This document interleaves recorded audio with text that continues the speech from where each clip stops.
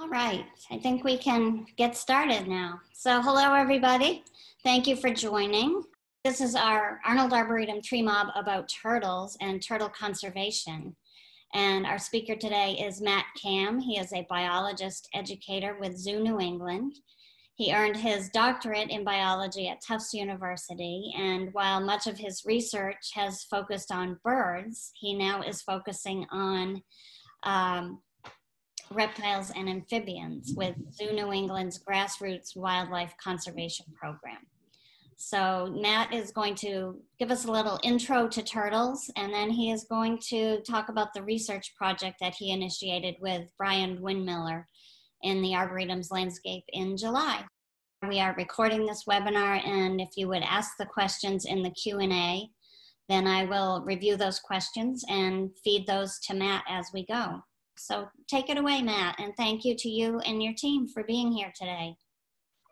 Yeah, it's absolutely my pleasure. Thank you very much, Pam, and it's great to see, so to speak, see everybody coming out for this talk. Uh, I'm really excited. So yeah, hi, my name's Matt. Uh, I study turtles with uh, the conservation branch of Zoo New England.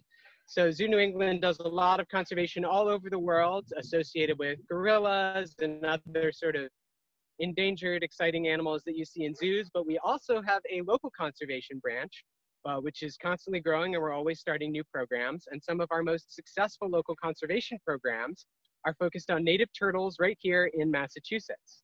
Uh, Massachusetts has a whole bunch of native turtle species, uh, some of which are real conservation concern. There's Blanding's turtles, wood turtles I do a lot of my field work on. Those are both state listed species um, that are vulnerable to decline for a whole bunch of reasons. But another thing that we've been interested in studying for a while is how turtles survive and thrive in urban landscapes. Um, and Arnold Arboretum is, is a wonderful sort of pocket of green, but it's very much centered in an urban landscape. Uh, and people have been telling us at the Arboretum for years that there's lots and lots of turtles. They see lots of snapping turtles, they see lots of painted turtles, there are always turtles crossing the roads. So we're interested to find out just how large this turtle population is, uh, how their health is, you know, how they're doing, what sort of the demography of the population is, so what the gender balance is, how often they're reproducing successfully, what the distribution of ages in the population is. All of those things are really useful to know to assess sort of the overall health of a wildlife population. So uh, Dr. Bryan Windmiller, who's in charge of the conservation department, sort of uh, talked with the Arboretum folks and got this program started. Uh, and I'm the one who's sort of on the ground in the field, uh, doing a lot of the trapping, surveying, notching of turtles, um, as well as pond invertebrates, fish, amphibians. We're doing just sort of as comprehensive a survey as we can of the three different ponds at the Arboretum. Uh, so of the three ponds, um, Faxon, Rehder, and Dawson, we, we've been interested to see just over the past couple of weeks while we've been trapping. Uh, Faxon has dried up almost completely. It's pretty much just mud now, and Rehder is not far behind. Uh, it's lost probably about half or more of the surface water that it had even when we just started trapping a week and a half ago. Um, and as that's been happening, we've actually already observed a lot of movements by turtles leaving Faxon and Rehder and coming over to Dawson, the biggest pond. So we've got several turtles that we originally caught in one of those smaller ponds that we're now recapturing in our traps here in the larger pond. So the traps that we use are sort of a bunch of hoops put together with nets in between them uh, that have um, mouths that are held together by water pressure. We bait the traps with sardines. The, the smell of the sardines in a can really attracts turtles. So the turtles swim in through the mouth of the trap and then water pressure holds the mouth closed so the turtles can't swim back out. We check the traps every day. We take the turtles out, we measure them, we notch their shells, which is just like clipping their fingernails, so it doesn't hurt them at all. But those notch patterns on their shells let us tell if we've caught the same individual again, which lets us see how large the population is. And then we let the turtles go. So overall, we try and make it as, as low stress and easy a process for them as we can. Um, and pretty much all of the turtles we've caught have been in good health, so we're not uh, very worried about them in that respect. Uh, so just this morning, I went out and I checked some of our traps here in Dawson, uh, along with Ashley, who's been working with me in the field. Um, and we've got a couple turtles to actually show you right here live on the call. So I'm just gonna grab one of those right now. so this is a painted turtle. Painted turtles are probably the most common, the most numerous turtle species in Massachusetts. They're called painted turtles because of these lovely vivid colors that they have. That bright yellow belly, those yellow and black stripes on their face, the bright red underneath the shell. Uh, it's really a, a wonderful pattern, like really charming, gorgeous. And even though these turtles are really common, they're still really striking. Uh, so a bit of sort of basic turtle biology for those of you who are interested. Turtles are reptiles, just like lizards and snakes. Um, they have shells. These shells show two different parts. So the back of the shell is what we call the carapace, and the belly or the stomach part of the shell is called the plastron. And you can see that in many, in most species, even those are connected right along the turtle's sides. And so you might have seen like in old cartoons, a turtle will like leave their shell and come out wearing their underpants or like they'll pull inside their shell and it's like a little house where they've got an armchair and like an end table. So real turtles cannot leave their shells. Their shells are part of their spinal structure. It's actually fused to their backbone. Uh, so some turtles can pull inside their shells if they're feeling scared. You can see she's not feeling terribly scared right now. She mostly just wants to go back in the water. So she's doing this kind of air swimming behavior with her legs and her arms trying to get away. Now this painted turtle is an adult. They do get bigger than this, but this is a pretty good sized adult, I would say. And she's a female, which I can tell for a couple of reasons. So if she would just give me one of her hands, there we go. I'll show you her manicure. So you could see that all of her claws are about the same length. That means Can she's you a female. lower that one bit? Yep, there Lower you go, and in. Lower it. How's that? There you go. Yep. Yeah. So all of her claws there on the front legs are about the same length. If she were a male, the middle claws would be about two or three times longer than the side claws. Huh. You can also tell by the length of her tail that she's a female and by how thick her body is. So males are much flatter and more compressed. Uh, so this is a female and she's been notched as number six. So I'll zoom in on the back of her shell. You can maybe see those tiny notches in the scutes. She's kicking a lot, so I don't know how lot's gonna show up, but we've cut those just little tiny notches into the back of her shell. And those make a number combination so we can tell which individual she is and that we've seen her before. So these painted turtles are really well adapted for swimming. They're a very aquatic turtle. They're very flat, which helps them swim easily through the water.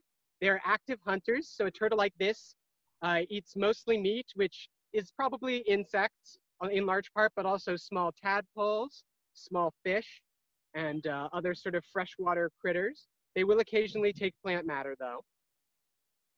Uh, these turtles, they, we know they can live at least 40 years. Some of them can probably live even longer. Turtles on the whole are, are a very long-lived group of animals. Uh, this turtle, if I had to estimate, she's probably, you know, 20, maybe a little more than 20 years old. So she's a good sized adult. She's definitely reproductively mature. She's probably laid eggs here before. So here's our, our wonderful painted turtle. I'm gonna switch out for the other turtle we caught today. This is a snapping turtle. This is the baby, baby snapping turtle. Uh, this is not the smallest one I've ever seen, but it's pretty close. Very cute, probably just hatched this year. Could be maybe a year or two old, depending on how much food it got in its first year. But uh, this is this is a baby snapping turtle.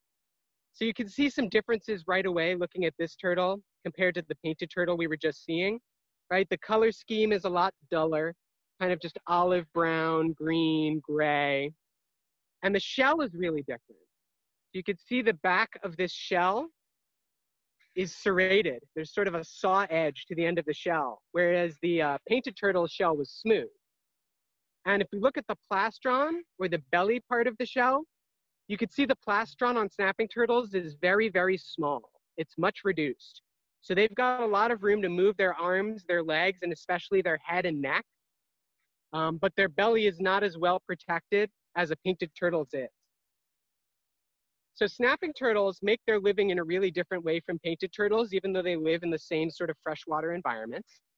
Snapping turtles spend a lot of their time sitting on the muddy bottom of the water. So the, the, the pond bottom is actually what's usually protecting their belly. So they don't need as good armor plating on their stomach. And they're ambush predators. So where painted turtles will chase down and hunt their prey, snapping turtles will bury themselves in the mud if people can see again. So I've yeah. got the snapping turtle still here, this, this baby snapping turtle. Um, and snapping turtles have kind of a, a tough reputation, but they're actually very gentle animals for the most part, especially in the water. So while snapping turtles are in the water, that's where they feel most comfortable. You never need to worry about going swimming or wading in water where there are snapping turtles because they just avoid people. They can see you coming and they'll just move away. The only time snapping turtles will bite people is when they're out of the water.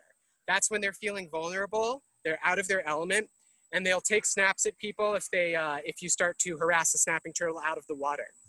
So people often ask us if I find a turtle that's crossing the road, especially a big snapping turtle, what should I do to help it? And what we say is if you can safely do so, right? So if traffic isn't a danger to you, if the turtle isn't a danger to you, move the turtle off the road in the direction it's already facing. Don't try to bring it back to where it came from, because if you do that, as soon as you leave, the turtle's gonna turn around and try and cross the road again, right? The turtles know where they want to go, and unfortunately, we can't argue with them. They don't understand, so just bring it across in the direction it was already going uh, when you first found it. To safely pick up a snapping turtle, you want to avoid the front half of the shell because their necks are very long and flexible and they can bite pretty much anywhere on their front half. So you want to grab the back of the shell just like this. You can use your knuckles to control the rear feet so they can't claw or kick at you. Never ever pick a turtle up by the tail. Their tails, like it's long, it's kind of a tempting target, but their tails are not designed to hold the full weight of their body, and they can really damage their spinal cord if you try and hold them up by their tail. So that's my turtle handling safety tip. All right, so I'm gonna put this snapper back in the water. It's a little baby, but it's gonna get big one day. The biggest snapping turtle we've caught here at the Arboretum was 28 pounds. He was a big male. And we've also caught two females that we put radio trackers on. So we'll be able to follow their movements and hopefully find their nests. We know because we're catching babies like this one, that female snapping turtles are successfully nesting at the Arboretum. And we'd like to try and find those nests and protect them and maybe even take some of the baby turtles and head start them in local Boston schools. I run a lot of education programs in classrooms during the year, and we like to give baby turtles to give them a head start in classrooms. The kids get to learn about native wildlife. The turtles get to put on a lot of weight and do a lot of healthy growing in a safe environment during their first year. And then we release them back into the wild just where they were caught. So it's a real win-win kind of program.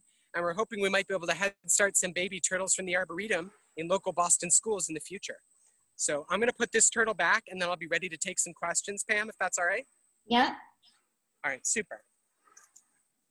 So one question is, how does a female painted turtle accommodate her eggs before they lay them? There's no, uh, they don't get a baby bump. no, they don't get a baby bump. It's true. Although they do gain a lot of weight, as you might expect. So a turtle's shell actually has a fair bit of empty extra space inside it. So they need that extra space so that they can pull in their arms and legs to protect themselves if they feel like they're in danger. And what usually happens when a turtle becomes gravid or when a turtle is full of eggs is that they start filling up that empty space. Um, there's sort of a lot of extra loose skin. I can actually grab the painted turtle and maybe show you a little bit. It's harder to see on the painteds than on some of them, but So you, you can see, if you look inside the painted turtle's shell, there's, I can easily get my finger in here. There's still like quite a bit of space between the outside of the shell and where her legs and the side of her body is. So that's the space that fills up. So they've got some built-in extra capacity, especially the females. Like I said, their shells are deeper than the males. So they've got that built-in extra space to expand into when they've got eggs ready to lay. Good question. So can you um, repeat, you talked about how do you tell the males from the females of the. Right. The painted, can you say that again for painted? Yeah, and so for- for snappers? For painted turtles, you could see her nails. I'm gonna try and hold her hand out so you can see it. Uh, so there are her claws, her front claws. They're all about the same length. If she were a male, then these front claws, the, the middle claws would be about two or three times longer than the, uh, the other claws around it. But since they're all about the same length, we know she's a female. Also, I can tell by the relative length of her tail and how thick she is when I hold her. That's something that just comes with experience. But those are how you tell male and female apart for painted turtles. Some other turtles, there are easier ways. Like in some turtles, the males will have a, a curve on the underside of their belly, which, hel- which helps them balance when they're on top of a female in mating season. But that's not the case with painted turtles. And what about snappers? How do you, So for snappers, telling males and females apart is pretty difficult.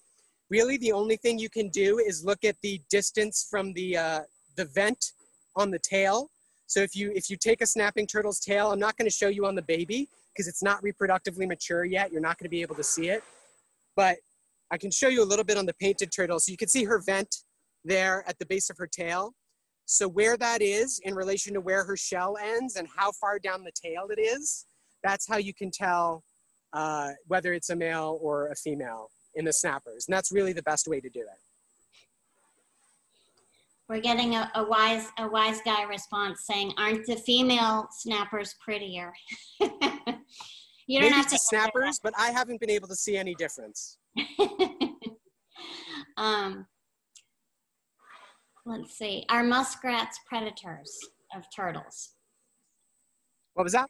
Are muskrats predators of turtles? Are muskrats predators? Absolutely, especially to baby turtles. Muskrats can eat a lot of baby turtles, almost anything. Even chipmunks will take baby turtles. Uh, if you think about it, you know, a, a baby turtle is just a nut. It's a hard covering with a bunch of protein inside, and chipmunks are more than happy to catch them if they catch them out of the water, and they'll chew right through those shells just like they would a nutshell. Hmm. Uh, but pretty much any small or mid-sized mammal will is a predator for baby turtles. For adult turtles like this one, she's probably out of danger from muskrats, but there are still some predators like mink um, and even like larger turtles, big adult snapping turtles will also eat smaller turtles on occasion. And we see uh, great blue herons in the pond. Do those, do great blue herons also go for turtles, babies? Yes, they do. Great blue herons are big turtle predators. They like to eat baby turtles, but you know, uh, this time of year, great blue herons, they're probably just fledging their youngsters, but their youngsters need to eat too. So sometimes baby turtles go to feed baby herons, and, and that's the natural cycle. All right. Um, and is feeding bread beneficial or detrimental to turtles? Feeding bread. Sorry, what was that? Is feeding bread to the turtles detrimental or beneficial? Yeah, don't feed bread to turtles. It is not part of their natural diet. It isn't good for them. Most turtles are looking for a mostly protein diet. Uh, so fish, insects, and amphibians makes up most of our turtles' diets for the most part. Box turtles especially eat a lot of more plant matter than most of our other turtles, although they still eat a lot of slugs and other invertebrates and worms. Uh, yeah, don't feed bread to turtles. It's not good for them. And can you repeat what the snappers eat? So snapping turtles will eat pretty much anything that swims by them. If it moves in front of their face, they'll try to eat it unless it's big enough that they know they can't, like a human. So they won't they won't try to eat humans, but pretty much anything that looks like it'll fit in their mouth, if it moves in their range of vision, they'll snap at it. Fish, mollusks, crustaceans, insects, birds. We've seen some snapping turtles take All right. So um, this is a good question, I think. So um, you talked about sometimes you take the baby turtles and they you they go and they get reared so that they have a better chance of surviving in the wild. Yeah. Um, Yes. Are you disrupting any sort of mother baby bonding, or once the eggs hatch, the mother's job is done? Is that true? Uh, well, actually, it ends even before that. Once the eggs are laid, the mother's job is done. She does not attend the nest. Uh, female turtles bury their eggs. They dig a hole, they bury the eggs, and then they leave, and they never see them again. You know, they might run into their offspring incidentally if their offspring are in the same wetland as they are, but there is absolutely no parental care with these turtles at all. Uh, they hatch and they dig their own way out of the nest. Uh, so, and when you think about it, it's not a bad strategy because if the female were staying with the eggs, it would give away the location of the nest to predators. So really, she's doing the best thing she can for them by burying them, hiding them, and then leaving the area. So that prevents the eggs from being found by things that would want to eat them. Um, how long do those eggs develop in females before they're laid? Hmm, that's a good question. Uh, I think females are usually like, we can feel the eggs inside them, like they're that kind of gravid, usually for just a few weeks before they actually lay the eggs. The egg development process itself takes, I think, about a month and a half. I'm not 100% sure on that one, but I think from like actual the start of egg development after mating to the time the eggs are ready to be laid, anywhere from a few weeks to several weeks. And they are capable of waiting. Most turtles will wait for good weather uh, so that they've got cover and that the soil is soft enough for them to dig in it. So they might wait for rain, which makes the soil a lot easier to work with. Just like kids building sandcastles at the beach, it's a lot easier to work with wet uh, sort of substrate than with really dry substrate. So even if they're ready to lay, they might wait a week or more for the right weather to come out and lay their eggs. Okay, this is kind of a combo of why do snappers leave the water and go across a field or a road, which I think you've answered. It's so they're going looking to lay their eggs. Is that correct? Usually they're looking to lay their eggs, but if their pond is drying up, as we've seen here, we've seen a couple snappers that have moved from the ponds that are drying up into Dawson, into the bigger pond. So if their pond is drying up or if their food source has disappeared in their home pond, they'll go looking for a new home just like any animal whose home has become unsuitable. Um, can you speak a little bit? I was watching a video that Bryan Windmiller was talking in, and um, I think it was around Great Meadows, and you were putting screening over those nests. Yeah. And was that for Blanding's turtle, a different turtle than a snapper? Yeah, that's right. Yeah, Can those you- are Blanding's turtle nests. So Blanding's turtles are a threatened species in the state of Massachusetts. Um, so they're, they're protected by law, and a lot of our programs at the Conservation Arms in New England are aimed at increasing Blanding's turtles numbers. So one of the things we do is we radio track the females, we find the nests, and then we protect the nests by putting those screens over them, which just prevents them from getting dug up by predators that might find them by smell. So that safeguards those eggs, and then when the eggs are about to hatch, we take the screen off, we dig up the eggs, we incubate the eggs in captivity, we hatch the babies, we head start them to give them the best chance of survival, and then we release them back where they hatch. All right. Um, what season do the eggs hatch? So most eggs hatch right about now, actually. We're sort of at the peak of hatching season for uh, wood turtles, Blanding's turtles. Snapping turtles and painted turtles can get started a little easier, earlier rather. Their eggs are already hatching, have probably been hatching for the past month or so. But most turtles are laying their eggs in late May, June. June is the very busy season for laying. And then those eggs will incubate for four to six weeks, depending on temperature and a lot of other factors. And they'll often hatch in late July or early August. So right now is, is turtle hatching time. Okay. Uh, so we should be looking out for turtles and um, not running them over if we can help it and uh, letting them go whatever direction they're going in. Is that Exactly. correct? Yep. So how did those um, hatchlings, what's telling them where the water is? How are they sensing the direction of the water? Yeah, that's a great question. And it's a thing that we're still not 100% sure about, but we think there's a strong component of smell. We think they're using smell to find the nearby water and to, to follow the track. Uh, and also, they're probably using kind of an eye for territory. So they know that water tends to gather in low places. So they'll head downhill, generally speaking, looking for places where water is likely to gather. But we think it's, it's largely smell is how they're finding their way to water. And can they, um, can turtles hear well? Uh, turtles can hear, sort of. Their sense of hearing is very different from ours. Uh, if you experienced what a turtle experiences, you might not call it hearing. Um, they do have eardrums, but their eardrums are, are under the surface of their skin.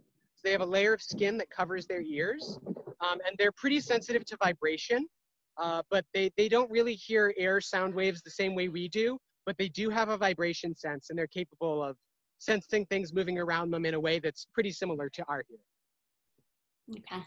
Um, are the species temperature sensitive for hatching, male versus female? I guess sea, someone's saying sea turtles operate that way.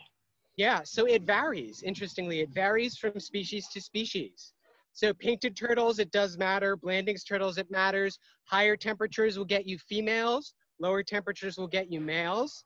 For snapping turtles, it's a bell curve with a peak in the middle. So if you get extreme values, I think you get males, middling values, you get females. And then for other turtles like wood turtles, it's chromosomal. So they have a, a chromosome system like we do for sex determination. Great.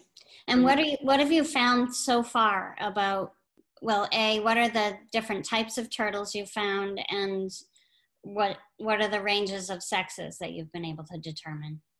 Yeah, so so far it seems to be a pretty good gender balance. We found both males and females of all of the species that we found here at the Arboretum. We found three turtle species, snapping turtles, painted turtles, and red-eared sliders. Red-eared sliders are an introduced species here in Massachusetts. They're not native. You find them usually in the central and southern US, but they're very popular in the pet trade. They were banned in the pet trade recently, but because turtles live so long and red-eared sliders can get quite large, a lot of people bought these turtles not realizing the lifetime commitment they were making. And then they take the turtles somewhere like the Arboretum in a pond and they just let them go. So we've got those introduced turtles in with our native turtles. We've only caught a few of them so far, but we've, we've caught more than one here. Um, we've caught more than 20 into different individual painted turtles and more than a dozen individual snapping turtles that we've marked and released uh, across quite a good distribution of ages. We haven't seen any baby painted turtles yet, but that might just be because they haven't hatched yet this year. But we found baby snapping turtles, so we definitely know that they're reproducing here at the Arboretum. And can you talk about how they make it through the winter? Yeah. So turtles are really amazing in the ways that they make it through the winter. Many turtles will winter at the bottom of a pond or a lake, even when it freezes over solid. Uh, painted turtles can in fact survive being frozen. Their blood has a natural antifreeze that keeps ice crystals from forming in their blood cells and causing them fatal damage. So they can survive below freezing temperature. Um, and because they're reptiles, their metabolism slows way, way down in the wintertime, and they can get by with almost no oxygen and no food. So even though they breathe air just like we do, they can get by without a single breath of air for the entire winter because their metabolism drops down so very low during during the winter time. That's pretty amazing. Um, if I put this the slides up, if you can see them and talk about what we're seeing, that would be great. Yeah. So there looked like there was a long trap that has um, somewhat larger holes in it. I assume that's for turtles. That's for yeah, the snapping turtles especially. We use the big turtles for the the big traps for the big adult snappers. It's a Okay. three foot diameter hoop trap. Okay, and then the smaller ones, what are you doing with minnows? So we're doing, we're putting out minnow traps, which are these much smaller sort of torpedo shaped traps that we've got out throughout the Arboretum.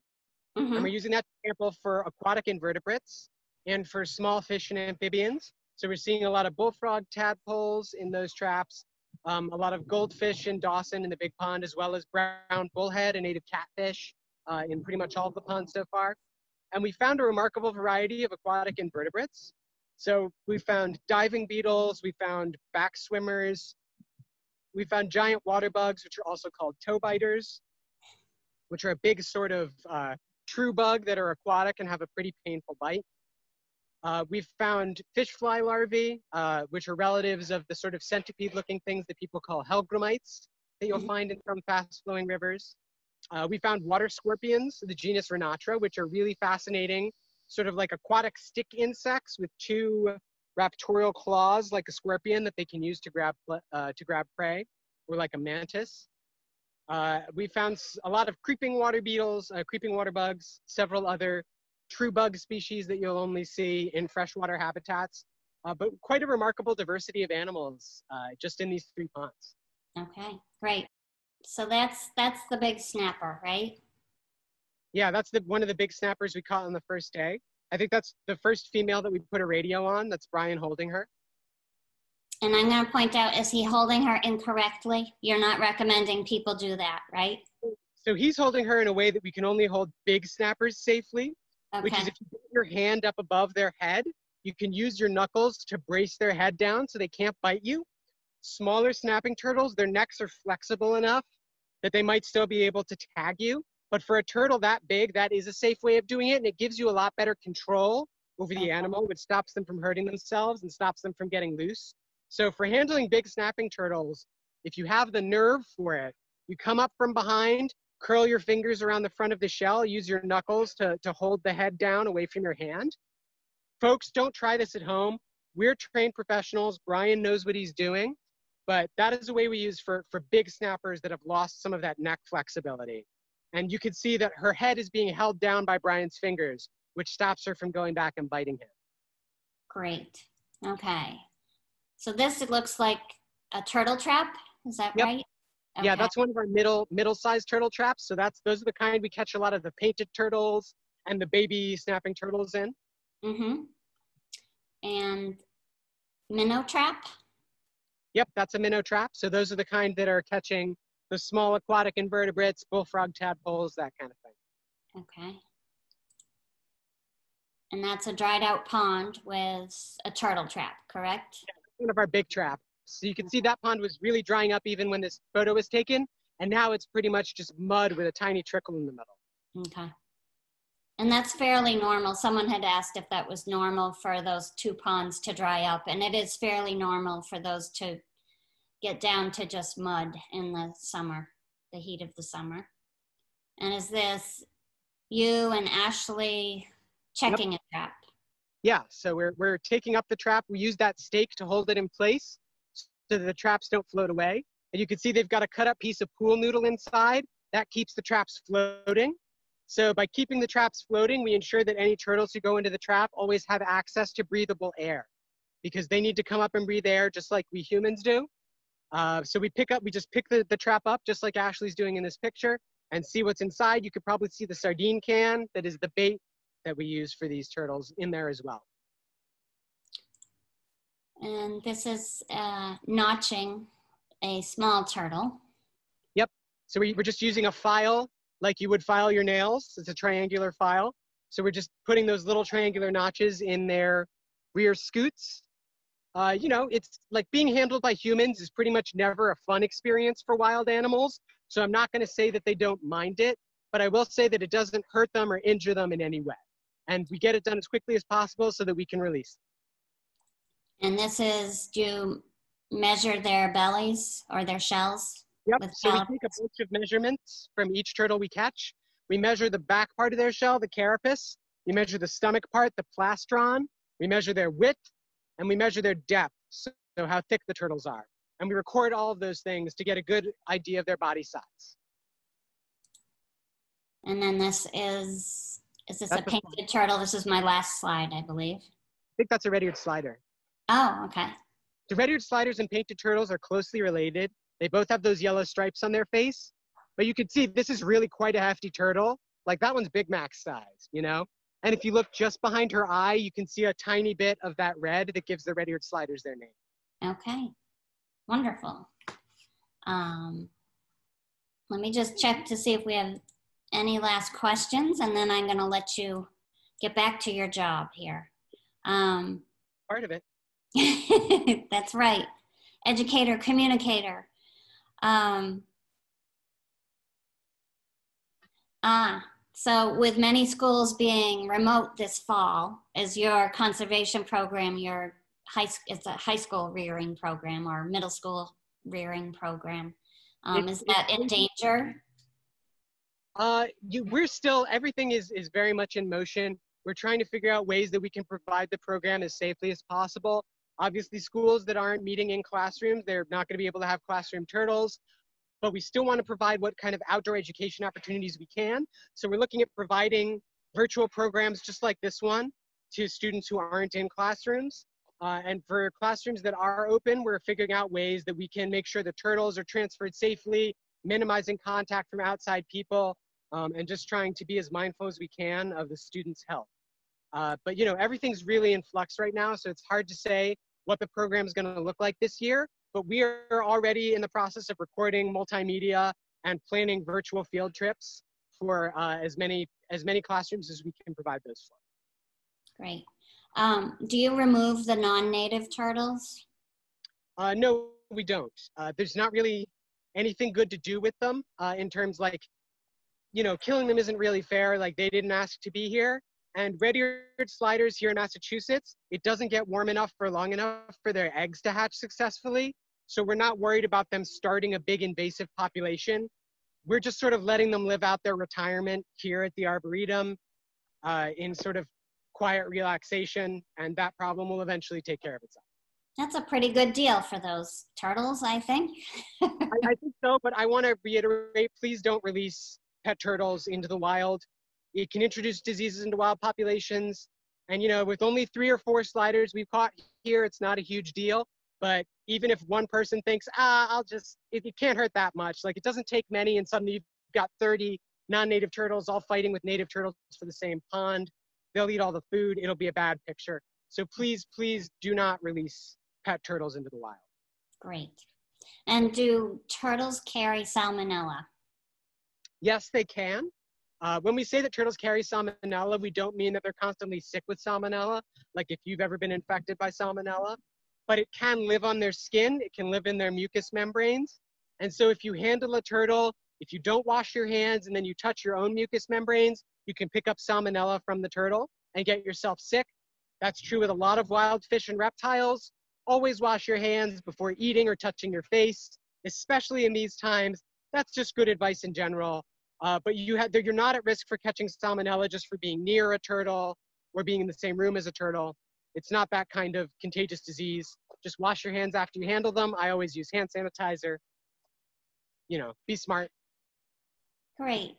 I think we're going to wind it up right there. Um, be smart, be careful, enjoy the turtles, and don't turn them around. right. Right? All right. Well, thank you, Matt, and thank you to your whole team for doing this project at the Arboretum. Take care. We're to do it. Thank you all so much for having us on this turtle mob. All right. Bye-bye. Bye.